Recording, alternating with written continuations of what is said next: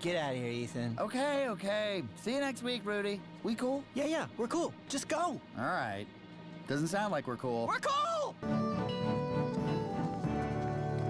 There's my babies. Why are you covered in chocolate? Why are you covered in wine? Don't ask questions. Yeah, ditto. Ow. I feel like I French kissed the whole train. Don't worry, I'm gonna get you out of here. Yay! And then I'm gonna eat you. No! Shush!